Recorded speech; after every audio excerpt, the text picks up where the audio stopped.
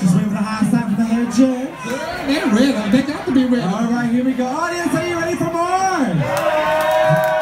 Please, please be respectful. Please be quiet. This is contestant number six for Miss Five Nightclub Newcomer and Talent Competition, the live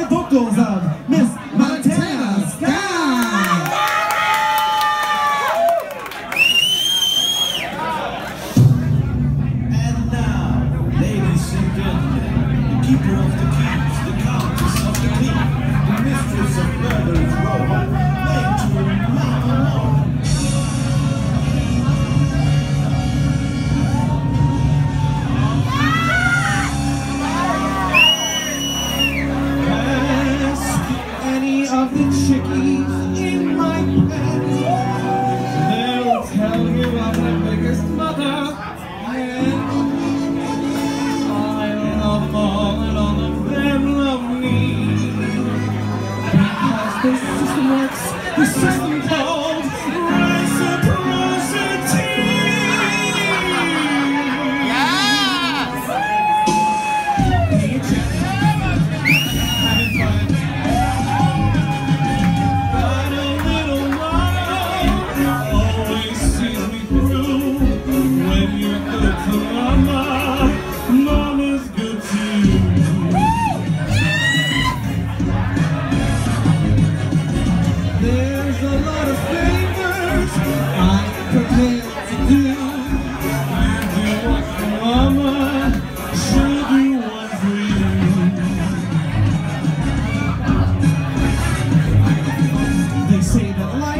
is tit for tat, and that's the way I live.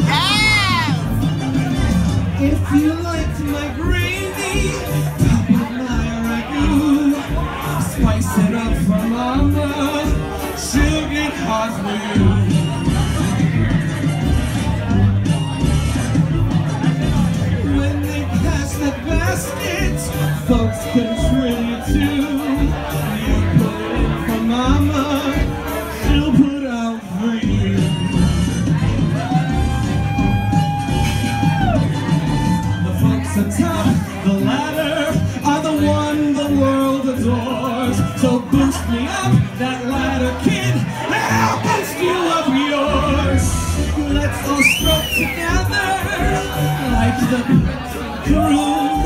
When you stroke mama,